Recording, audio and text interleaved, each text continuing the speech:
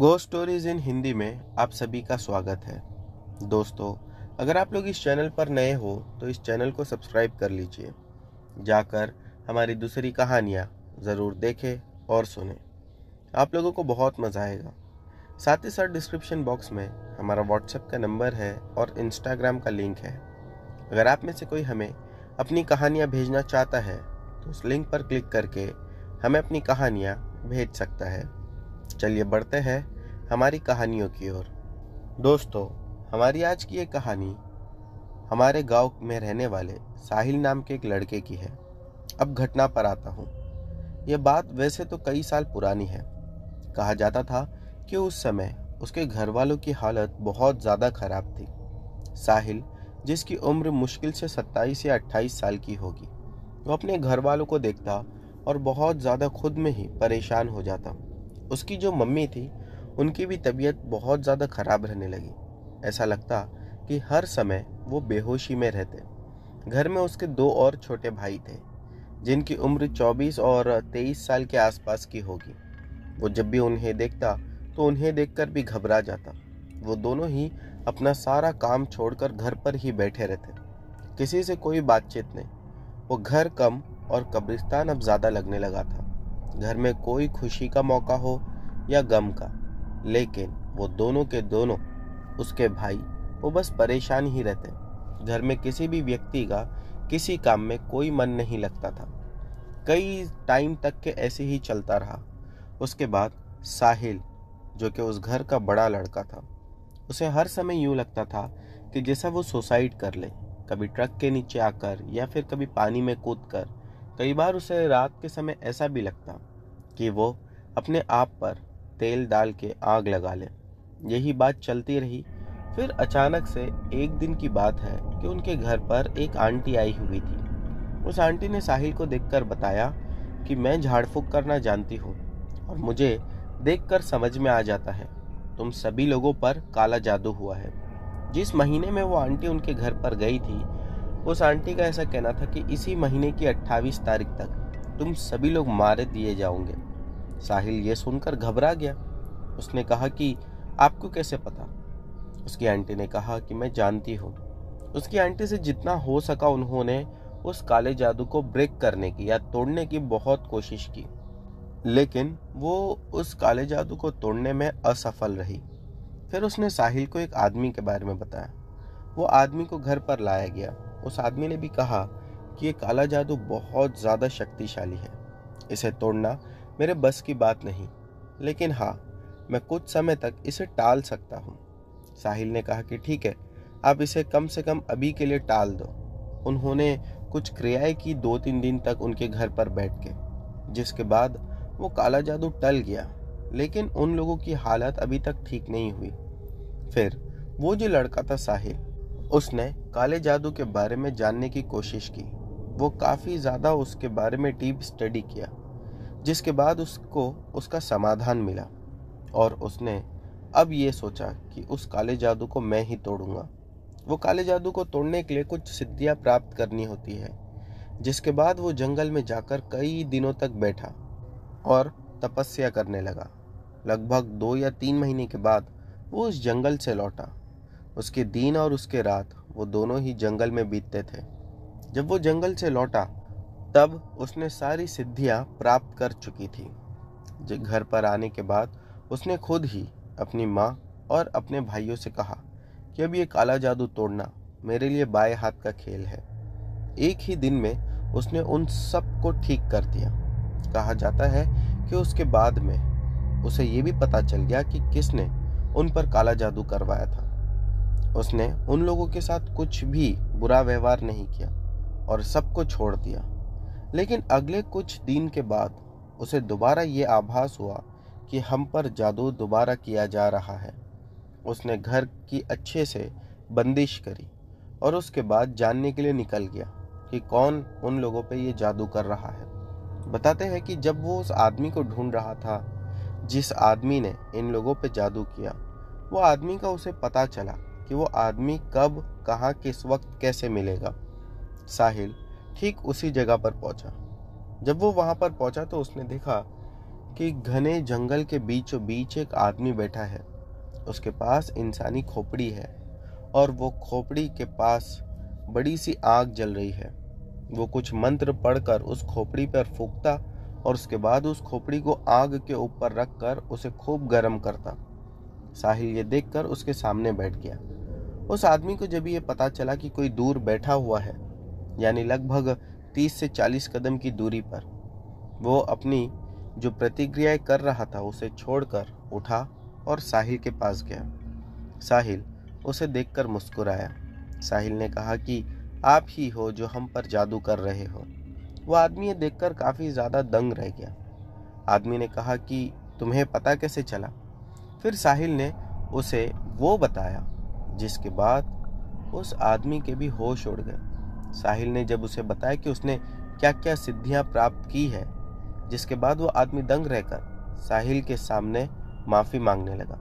साहिल ने कहा कि मैं माफ़ कर दूँगा, अगर तुम अभी इसी समय ये सब बंद कर दो। वो आदमी इतना ज़्यादा डरा हुआ था कि साहिल के बोलते ही उसने वो सारी चीज़ें छोड़ दी। फिर साहिल अपने घर के उसी आदमी के पास गया, या यूँ कहिए कि रिश्तेदार के पास गया, जो लोग उन पर यह सब करवा रहे थे। जब वो वहाँ पर जाकर उनसे बात किया तो घर के सभी मेंबर्स मुकर गए। साहिल जानता था कि घर के सभी मेंबर्स को इस बारे में पता भी नहीं है। उसने इसीलिए घर के ठीक उसी आदमी को पॉइंट आउट किया, जिसके बारे में वो जानता था कि यही आदमी है जो करवा रहा है। साहिल ने उस आदमी को बाहर बुलाया और समझाया कि मैं जानता हूँ, आप ही करवा रहे हो। और उसके बाद साहिल ने उसे कई सारी बातें बताई, जिसके बाद वो आदमी भी हाथ जोड़कर माफ़ी मांगने लगा।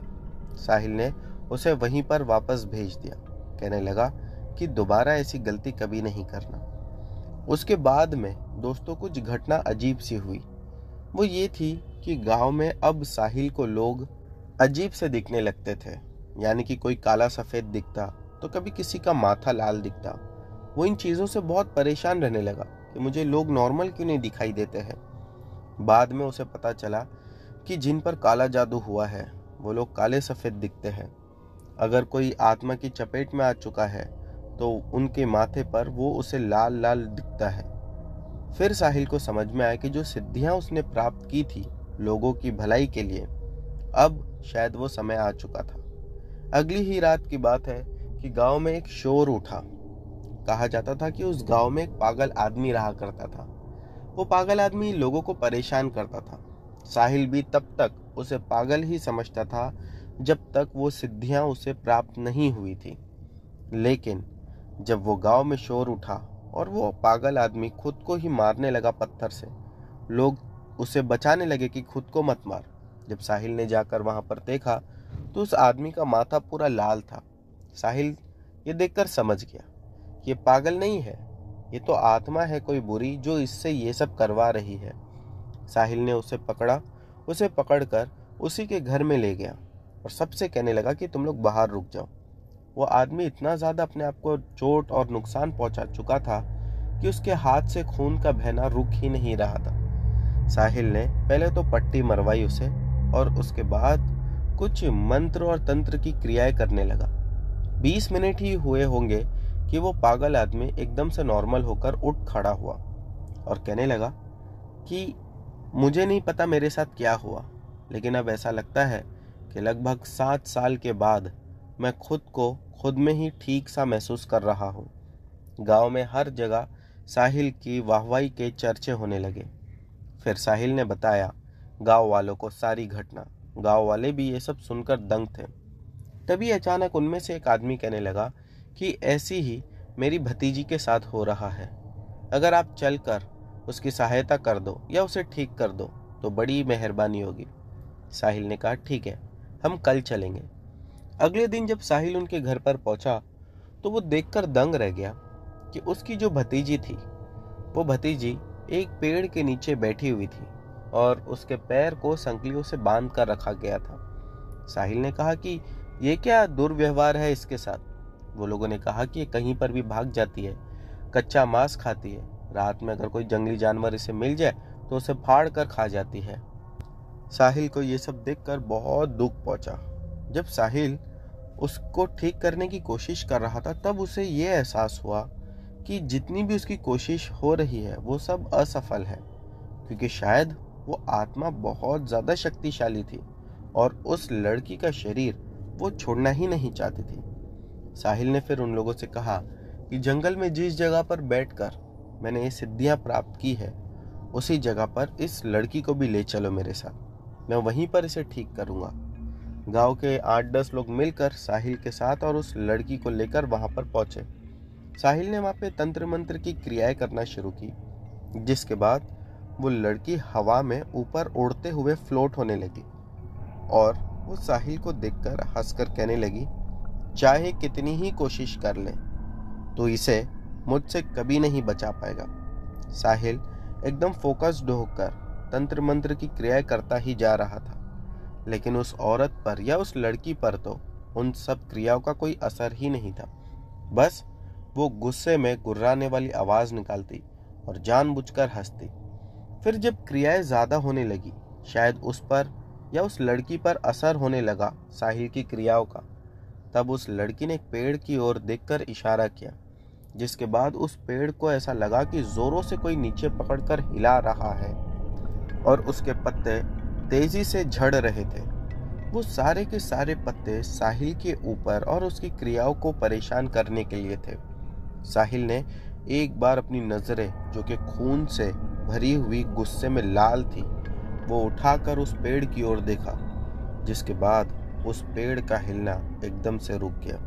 साहिल ने फिर उस आत्मा से कहा, बुराई चाहे जितनी ही ताकतवर हो, अच्छाई एक ही बार उस पर विजय प्राप्त करती है और आज वही दिन है। आज मैं तुझे मुक्ति दिला कर रहूँगा। फिर साहिल चिल्ला चिल्ला कर वो क्रिया के तंत्र मंत्र पढ़ने लगा।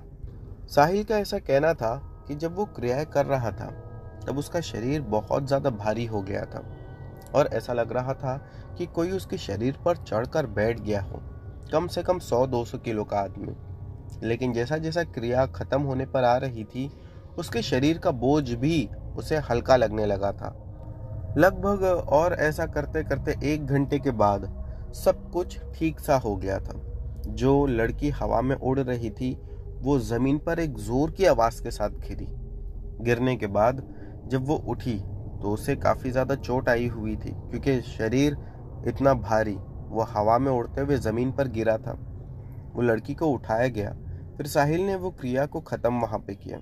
उसके बाद गाँव के सभी लोग अपने अपने घर पे आ गए। ऐसे ही साहिल उस जगह पर बहुत ज़्यादा फ़ेमस हो गया। अब किसी को भी कोई भी झाड़ फूक कराने की ज़रूरत होती तो वो साहिल के ही पास आता। ये तो दोस्तों थी साहिल की कहानी, लेकिन अब साहिल के साथ कुछ ऐसी घटना एक बार घटी, जिसके बाद वो खुद डर गया था। साहिल बताता है कि 2004 के आसपास की ये बात होगी, जब मेरे पास एक आदमी आया। वो आदमी ने आकर मुझसे कहा कि मेरी पत्नी की जान खतरे में है, आप चलकर उसे बचा लीजिए। जब मैंने उस आदमी को देखा तो वो आदमी हर बार तो मुझे जिस पर काला जादू होता है तो काला सफ़ेद दिखता है, या आत्मा की चपेट में आता है तो माथा लाल दिखता है। लेकिन इस बार उस आदमी का सिर्फ़ चेहरा ही मुझे काला सफ़ेद दिख रहा था और उसका पूरा शरीर डाक काला, जैसा कि मुझे पता ही ना हो किसके हाथ कहाँ है और पैर कहाँ है। और दोस्तों, साहिल का ये भी कहना था कि तब तक मैंने ऐसा कोई केस देखा ही नहीं था। साहिल उसे देखकर दंग रह गया और उसने कहा कि मुझे लगता है कि आप सभी लोगों पर जादू किया गया है। उसने कहा कि मैं नहीं जानता कि क्या हुआ है? बस कृपा करिए कि आप मेरे साथ चलिए। साहिल जब उसके घर पर गया तो उसने देखा कि उसकी फैमिली में जितने मेंबर्स थे तीन चार वो सभी के साथ यही हो रहा था। यानी कि सिर्फ़ चेहरा दिखाई दे रहा था और उसके नीचे का धड़ बिल्कुल डाक काला, जैसा कि हाथ, पैर का और शरीर का कोई पता ही ना हो। साहिल ने जब घर की ओर देखा तो पाया कि घर की सारी दीवारें यहाँ तक कि घर की छत भी डार्क काले कलर की है। साहिल ये देखकर परेशान रह गया। उसने कहा कि मुझे तो पहले अब ये जानना होगा कि आप लोगों के साथ हुआ क्या है। लेकिन तभी उसको बहुत ज़ोर की एक चीख सुनाई दी। ऐसा लगा कि तीन चार आदमी जाड़ी आवाज़ में मिलकर चिल्ला रहे हो। साहिल ने कहा यह क्या है? तभी उस आदमी ने कहा कि, ये मेरी पत्नी की आवाज़ है, जो उस कमरे में बंद है। हम सब उससे इतना ज़्यादा डर गए हैं कि हम उस कमरे के पास तक नहीं जाते हैं। साहिल ये भी बात सुनकर परेशान था, इसीलिए उसने तुरंत वहीं पर कुछ समय बैठकर तपस्या शुरू कर दी। वो कहने लगा कि आँख बंद करके मुझे 20 मिनट के लिए एकदम शांति दे दो। उसने पता नहीं क्या देखा। वो कहने लगा कि काम बहुत मुश्किल है, लेकिन आप लोगों की जान बचाना है तो मैं कोशिश ज़रूर करूँगा। इसके बाद वो वहाँ से निकल गया। अगले दिन सुबह में पाँच बजे के आसपास साहिल उनके घर पर था। साहिल ने सारी चीज़ें अच्छे से देख कर रखी थी और उसने कुछ क्रिया शुरू की, जिसके बाद उस घर में हर फैमिली मेंबर अजीब सा बिहेव कर रहा था। सभी लोग आपस में लड़ाई कर रहे थे, कोई एक दूसरे को मार रहा था। एक बार तो ऐसा हुआ कि उनके ही घर की एक फैमिली मेंबर थी, जिसकी एज 25-26 साल के आसपास की होगी। उसने एक बड़ी सी छुरी उठाई और वो उठाकर अपने छोटे वाले भाई के ऊपर चलाने लगी। लेकिन साहिल जानता था कि अगर मैंने क्रिया को छोड़कर उठ गया तो ये सब वेस्ट हो जाएगा। वो अकेला काफ़ी ज़्यादा हेल्पलेस महसूस कर रहा था। उनके ऊपर जो आत्मा का साया था, वो सारी आत्माओं को साहिल ने अपने शरीर में प्रवेश करवा दिया। जिसके बाद वो लोग तो ठीक हो गए, लेकिन साहिल वहाँ से उठकर कहीं बाहर गया और उस दिन के बाद से लेकर लगभग ढाई साल तक साहिल का कोई पता नहीं चला। ढाई साल के बाद गाँव से कुछ 200-300 किलोमीटर की दूरी पर किसी ने गाँव का ही उसे देखा और पहचान लिया। फिर उसे अपने घर लाया। साहिल, जिसकी हालत अब काफ़ी ज़्यादा खराब हो चुकी थी, फिर उसे किसी को दिखाया गया। उस आदमी ने उसका झाड़ फूक किया और बहुत मुश्किल के बाद साहिल नॉर्मल हुआ। जो भी सिद्धियाँ उसने प्राप्त की थी, वो सारी सिद्धियाँ अब वो छोड़ चुका था। और अब साहिल एक नॉर्मल लड़के की तरह अपनी ज़िंदगी उसी गाँव में गुजारता है।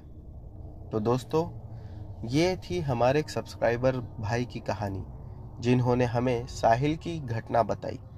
अब बढ़ते हैं हमारी अगली कहानी की ओर। दोस्तों, हमारी अगली कहानी विनीत तिवारी जी की है। चलिए इनकी कहानी शुरू करते हैं। आज जो घटना मैं आप लोगों को बताने जा रहा हूँ, ये घटना 2011 के समय की है। उस समय गाँव में मेरा काम अच्छा नहीं चल रहा था, इसीलिए बाहर शहर में कोई नौकरी ढूंढ रहा था। मुझे नौकरी ढूंढते हुए डेढ़ से दो महीना हो चुका था, लेकिन कहीं पर भी कोई नौकरी ठीक से जम ही नहीं रही थी। फिर मेरे एक दोस्त ने मुझे एक नौकरी के बारे में बताया। वो कहने लगा कि एक बिल्डिंग का वॉचमैन बनना है, डे एंड नाइट वहीं पर रहना है। मैंने कहा, ठीक है, सैलरी भी मुझे अच्छी लगी, मैं इस पर मान गया और मैं गाँव से अपना सारा सामान लेकर उस जगह पर पहुँच गया। जिस दिन मैं पहुँचा, उसी दिन मेरा पहला दिन था। दरअसल कहा जाता था कि वहाँ पर दो तीन वॉचमैन आकर एक एक महीना काम करके छोड़कर जा चुके हैं। लेकिन पीछे की बात क्या थी, ये कोई नहीं जानता था। मुझे भी इस बारे में कोई आइडिया नहीं था। मैंने नौकरी ज्वाइन तो कर ली थी, मैं थका हुआ काफ़ी ज़्यादा था। पूरा दिन वहाँ पर काम करने के बाद रात में मैं सोने चला गया। मुझे जो सोने का समय मिला था, वो रात में 12 से सुबह के 6 बजे तक था। सुबह 6 बजे वहाँ पर पानी आता था और उसी उसीलिए मुझे सुबह उठना पड़ता था। तो जब मैं पहले दिन वहाँ पर पहुँचा, रात में एकदम थक कर सोया, अगली सुबह जब मैं उठा तो मुझे काफ़ी अजीब सा महसूस होने लगा, जैसा कि आज तक कभी नहीं हुआ। वो कहते ना नेगेटिव एनर्जीज आस पास होती है, कुछ वैसा ही लग रहा था। लेकिन मैंने खुद को समझाया और खुद में ही बड़बड़ाने लगा कि शायद बहुत ज़्यादा थका हुआ था। उस थकान की वजह से ऐसा कुछ हो रहा होगा। एक अजीब बात या यूँ कहिए अचंबे वाली बात ये थी कि वो बिल्डिंग में बीस घर थे, लेकिन उस बिल्डिंग में सिर्फ़ छः घर में ही लोग रहते थे। बाकी के जितने घर थे, वो सब घर में लॉक लगा हुआ था। मैं समझ नहीं पा रहा था कि ऐसा क्यों है। वो बिल्डिंग रेलवे ट्रैक से लगभग 300 या 400 मीटर की दूरी पर होगी। बिल्डिंग के एंट्रेंस के बाहर, लेफ़्ट साइड में, एक बड़ी सी खाड़ी थी और राइट साइड में बहुत सारी जंगली झाड़ियाँ थी। जो बीच का एक मेन रोड वाला रास्ता था, वो भी पूरी तरह से ठीक नहीं था। मैं तो ये देखकर दंग था कि यहाँ पर लोग क्यों नहीं रहते हैं। रात का जो खाना होता था, वो शुरू के तीन चार दिन तक तो। मुझे उसी बिल्डिंग में से कभी कोई मेंबर ला के दे देता तो कभी कोई मैं मन में ये सोच रहा था कि सब कुछ यहाँ पर इतना अच्छा है, शांति है, गाँव जैसा माहौल लगता है, फिर यहाँ से वॉचमैन भाग क्यों जाते हैं? लेकिन मैं नहीं जानता था कि अब आगे मेरे साथ क्या होने वाला है। जब मैं खाना खाकर एक रात लेटा हुआ था, तभी मुझे बिल्डिंग के बैक साइड से कुछ आवाज़ें आई। बिल्डिंग का जो बैक साइड था, वो भी झाड़ियों से घिरा हुआ था। और वो आवाज़ें कुछ ऐसी थी जैसा कि कोई जंगली जानवर वहाँ पर लड़ रहा हो। मैं मन में सोचने लगा कि इतनी रात में कोई जंगली जानवर लड़ाई कर रहा है। चीखने चिल्लाने की आवाज़ें कुछ अजीब सी थी जैसे भेड़िया आपस में लड़ते हैं। फिर मैंने खुद को ही ये बात दोबारा समझाया कि जंगली इलाका है, वैसे भी आसपास कोई बिल्डिंग तो दिखाई नहीं देती। हो सकता है कोई जंगली जानवर होंगे। मैं अपनी जान को वहाँ पर जाकर क्यों खतरे में डालूं? मैं फिर दोबारा से सुकून से लेट गया। दस मिनट के बाद मेरा जो कमरा था, वो बिल्डिंग के राइट साइड कॉर्नर में, पीछे बैक साइड में ही था। ऐसा लगा कि दरवाजे के बाहर आकर कोई दरवाज़ा खटखटा रहा है। मैंने जब दरवाज़ा खोलकर देखा तो पाया कि बाहर कोई नहीं है। लेकिन जिस साइड पर खाड़ी थी, वो बिल्कुल मेरे अपोजिट डायरेक्शन में थी। ऐसा लगा कि खाड़ी के पास कोई खड़ा है, और वो दोनों हाथों का मेरी ओर इशारा कर रहा है। कुछ कहना चाह रहा था, या फिर मुझे अपने पास बुलाना चाह रहा था। एक बार को मुझे यूँ लगा कि शायद बिल्डिंग का ही कोई मेंबर होगा, जिसे कुछ दिक्कत हुई होगी, और वो मुझे बुला रहा है। मैंने घड़ी में टाइम देखा तो सवा बारह बज रहे थे। मैं सोचा कि इतनी रात में तो यहाँ पर सब सो जाते हैं, लेकिन ये वहाँ पर खड़े होकर क्या कर रहा है, और मुझे क्यों बुला रहा है? मैं तुरंत जल्दी जल्दी उठकर उसके पास पहुँचा। मैं जैसे ही उसके पास गया तो मैंने देखा कि वो धीरे धीरे उल्टे पैर चलकर, यानी पीछे की ओर जाते हुए उस खाड़ी में चला गया। लेकिन खाड़ी में जो पानी था, वो आदमी उस पानी में नहीं डूबा, बल्कि वो तो पानी के ऊपर चल रहा था। ये देखकर मेरी अंतर आत्मा तक काप उठी। मैं ये सोचने लगा कि ये क्या है जो मैं देख रहा हूँ। और अब भी वो दोनों हाथ मेरी ओर करा हुआ ही पीछे जा रहा था। मैं वहीं पर खड़े होकर ज़ोर से चीख लगाया और जल्दी से वहाँ से पलटकर अपने कमरे में आया। मैं जैसे ही भागकर अपने कमरे में आया तो मैंने देखा कि वो आत्मा या वो भूत मेरे साथ साथ मेरे कमरे में आ रहा है, यानी कि मेरा पीछा कर रहा है। वो कमरे तक आया और फिर आने के बाद वो बाहर ही खड़ा हो गया। मैं तो कमरे में जाकर कमरे का दरवाज़ा बंद कर दिया। मेरी सांस की आवाज़ उस सन्नाटे में बिल्कुल साफ़ मुझे सुनाई दे रही थी, बल्कि यूँ कहिए कि मेरे दिल की धड़कने की आवाज़ भी मैं बिल्कुल साफ़ सुन पा रहा था और महसूस कर पा रहा था। मैं अंदर डरा सहमा बैठा हुआ था कि दोबारा से मुझे वही आवाज़ें सुनाई देने लगी और अब यूँ लग रहा था कि जो मेरे कमरे के बाजू में पानी की टाकी थी, उसमें कोई डूब रहा है और ज़ोरों से चीख कर अपनी जान को बचाने के लिए मदद मांग रहा है। मैं जल्दी से बाहर निकलना चाहता था, लेकिन बाहर मुझे अपनी जान का भी खतरा था। दो पाँच मिनट के बाद जब वो आवाज़ों का आना बंद हुआ तब मैंने धीरे से कमरा खोला और कमरे को खोलकर देखा कि बाहर बिल्कुल शांत और सन्नाटा पसरा था। बाहर मुझे दूर दूर तक कोई दिखाई नहीं दे रहा था। इसीलिए मैं धीरे से उठा और उठकर अपने पास में जो टपानी की टाकी थी वहाँ गया। वहाँ जाकर टाकी को खोलकर देखा तो अंदर कोई भी नहीं था। पानी का लेवल भी काफ़ी कम था।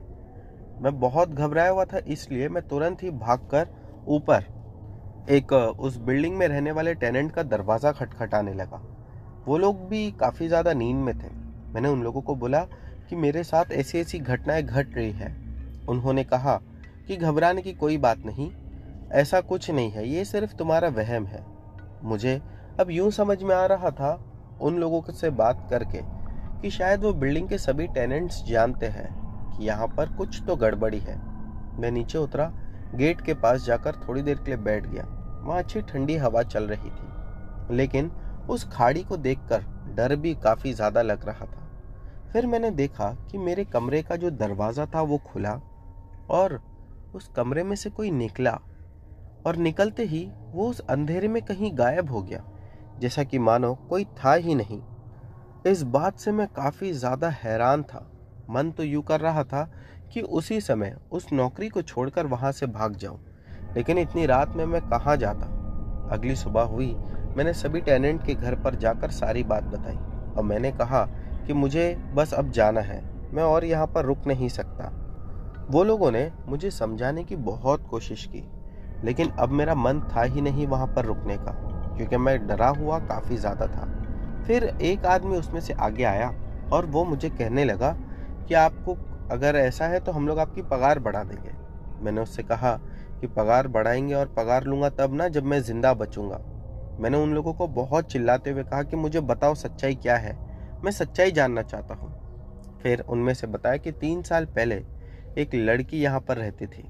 वो दोनों ही हस्बैंड वाइफ थे। जब उसे यूँ पता चला कि उसके हस्बैंड का कहीं बाहर और अफेयर है तो वो ये सदमा बर्दाश्त नहीं कर पाई और उसी पानी की टाकी में कूद कर उसने जान दे दी। और जब उसके हस्बैंड को ये बात पता चली तो उसके हस्बैंड ने उस खाड़ी में कूद कर सुसाइड कर लिया। तब से कहा जाता है कि दो लोगों की आत्मा यहीं पर भटकती है। मैंने उनसे कहा कि अगर ये सब बात आप लोग मुझे पहले बता देते तो मैं आप लोगों के पास नौकरी के लिए आता ही नहीं। मैं रोता हुआ वहाँ से अगले दिन निकल गया। अब मैं अपने दोस्त से जाकर मिला। मैंने उससे कहा कि, गाँव जाना ठीक नहीं होगा तो मुझे यहीं पर कोई दूसरी नौकरी दे।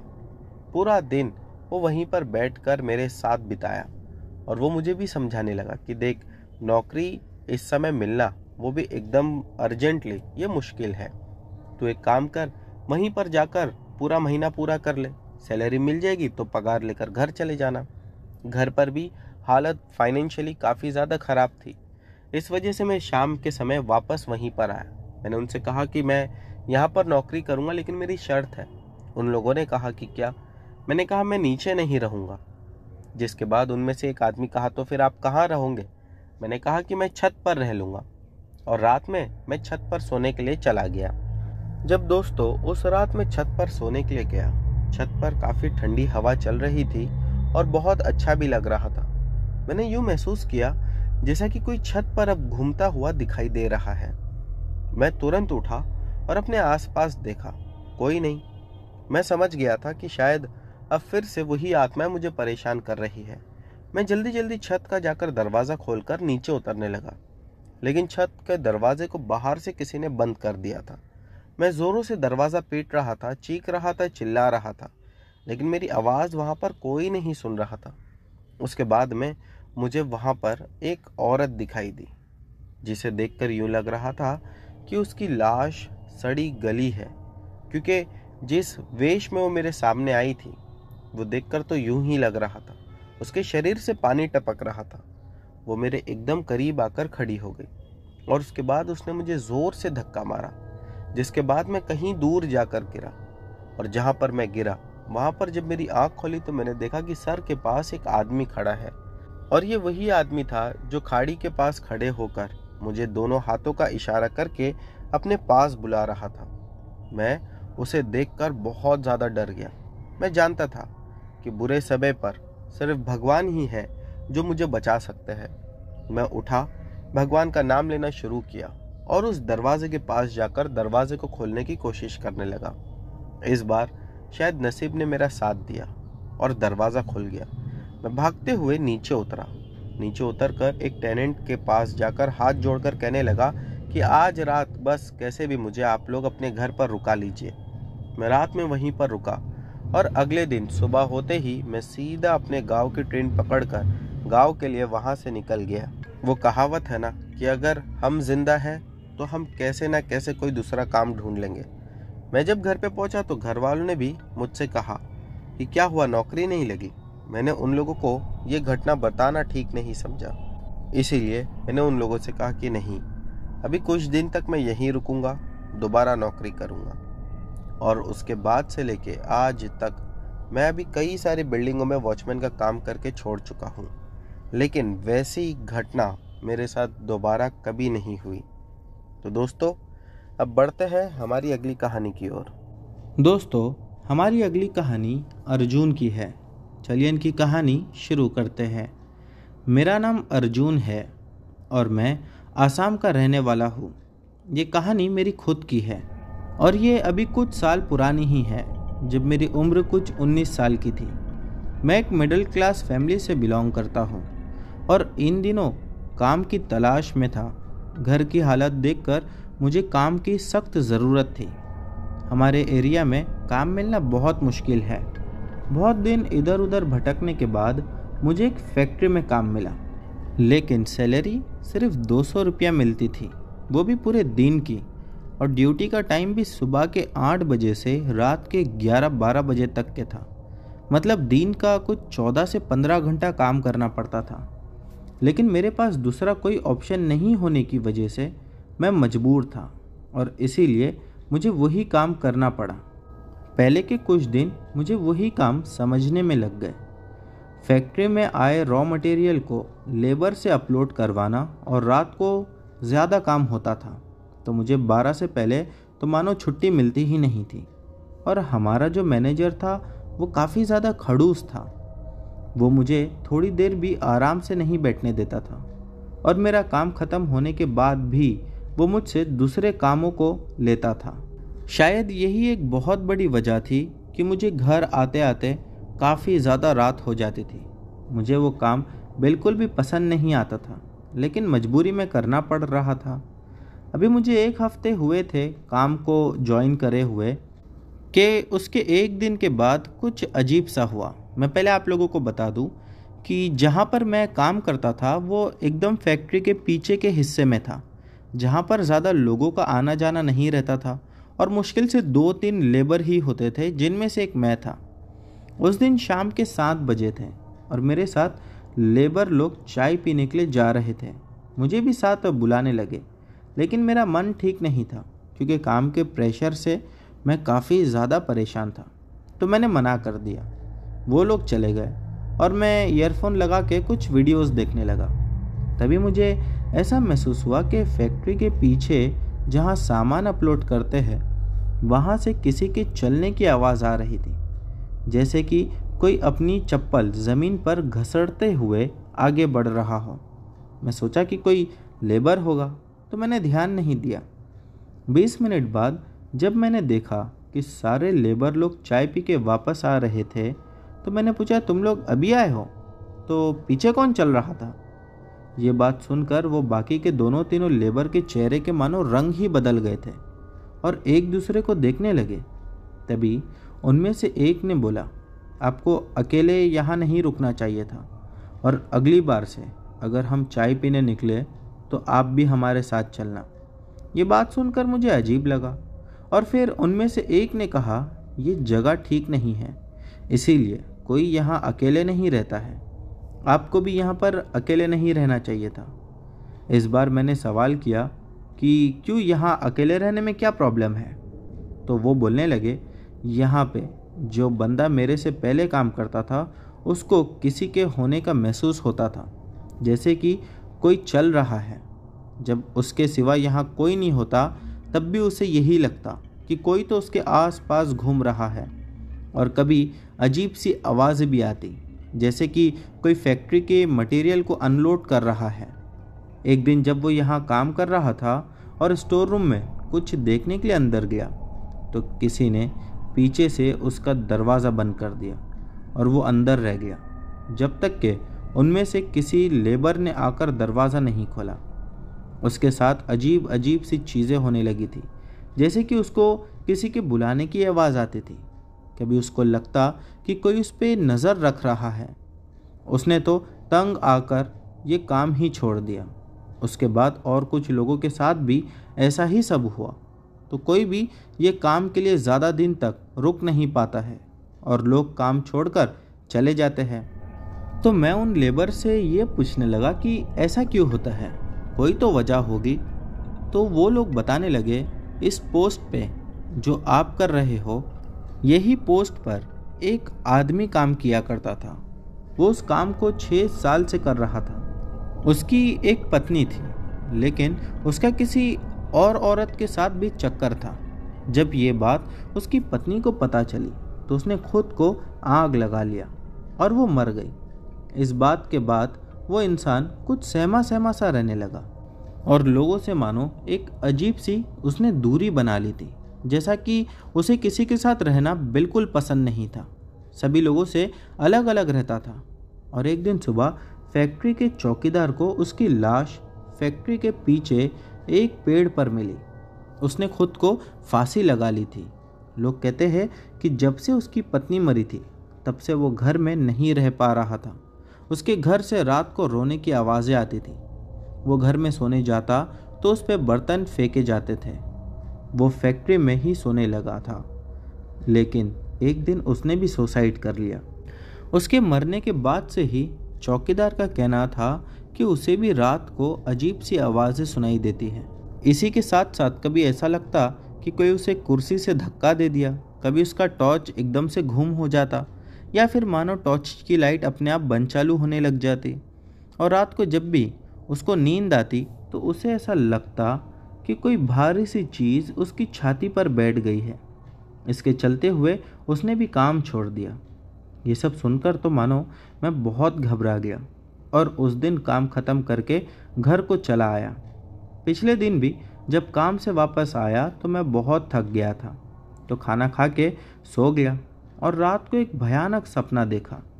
मैंने देखा कि कोई एक रस्सी लेकर हमारी फैक्ट्री के पीछे वाले पेड़ पर खुद को फांसी लगाने की कोशिश कर रहा है और देखते ही देखते वो रस्सी उसने फंसा ली अपने गले में और उसके दोनों टांग मानो हवा में थी और फिर वो एक सर कटे मुर्गे की तरह फड़फड़ाने लगा। थोड़ी देर के बाद वो एकदम से रुक गया। तभी मुझे मेरी छाती पर कुछ भारी सा महसूस हुआ और एकदम से मेरी नींद खुल गई। ये सपना इतना अजीब था कि मैं डर गया। अगले दिन रात के नौ बजे थे। मैं अपने काम में बिज़ी था और अचानक से लाइट चले गई। तो मैंने अपने मोबाइल का फ्लैश लाइट ऑन किया और जनरेटर रूम जाने लगा। फैक्ट्री में ये देखने लगा कि इतना अंधेरा हो गया है, कोई कुछ नहीं कर रहा तो मैं ही जाके देख लेता हूँ। मैं रूम में घुसते ही साथ मानो ऐसा महसूस करने लगा कि किसी ने मेरा हाथ पकड़ लिया है। मैं पीछे मुड़कर देखा तो वहाँ कोई नहीं था। इसके बाद मैं इतना डर गया कि मैं बिना कुछ सोचे वहाँ से भागने लगा। तभी रूम का जो दरवाज़ा था वो खुद ही बंद हो गया और मैं अंदर से दरवाजे को खोलने की कोशिश कर रहा था। लेकिन मानो ऐसा लग रहा था कि दरवाज़ा किसी ने बाहर से लॉक कर दिया है। डर के मारे मैं काँप रहा था। मैं मोबाइल का फ्लैश लाइट उठाकर पूरे रूम में देखने लगा, पर वहाँ कुछ नहीं दिखा। तो मुझे थोड़ा सा शांति महसूस होने लगी, और फिर मैं दोबारा जनरेटर स्टार्ट करने के लिए आगे बढ़ा ही था कि ऐसा लगा, कोई अब भी मेरे पीछे से निकला है। मैं घूम के देखा कि इससे पहले मुझे किसी ने धक्का मार के गिरा दिया, और मेरे हाथ से वो मोबाइल भी गिर गया था। मुझे अंधेरे में कुछ अब नहीं दिख रहा था। मैं डर के मारे चिल्लाने लगा, कोई मेरी मदद करो, कोई तो आके दरवाज़ा खोलो, मुझे बचाओ। उतने में मुझे एक साया दिखा, एक आदमी का। वो भी रूम के कोने में खड़ा मेरी ओर ही देख रहा था। समझ में ये नहीं आ रहा था कि मोबाइल गिरने के बाद फ्लैश लाइट अपने आप बंद हो चुकी थी, लेकिन शायद हो सकता है वो साय को देखने के लिए ही मेरे मोबाइल की लाइट अपने आप चालू हो गई और उसी में वो साया दिखा। वो दौड़ के मेरी तरफ़ आया और मेरी एक टांग पकड़ के मुझे ज़मीन पर ही घसीट के जनरेटर के पास ले गया और उधर रखा हुआ डीजल का कैन उठाकर पूरा मेरे ऊपर डाल दिया। मैं इतना डर गया था कि मैं बेहोश हो गया और जब मुझे होश आया तो मेरे सामने तीनों लेबर खड़े थे। मुझे देखकर एक ने कहा आज तुम्हारी किस्मत अच्छी है, जो हम सही समय पर आ गए, वरना पता नहीं क्या होता। मुझे इसके बाद चार दिन तक बुखार रहा, और मैंने वो काम भी छोड़ दिया। इसके बाद मुझे कहीं रातों तक वो डरावने सपने आते रहे, लेकिन अभी सब ठीक है।